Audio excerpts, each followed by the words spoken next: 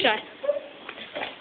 Aj, dragi gledalci, ja ću gasi novi pornofilm.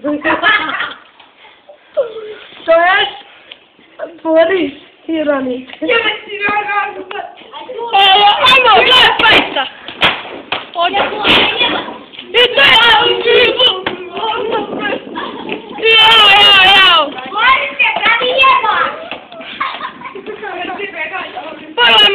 Je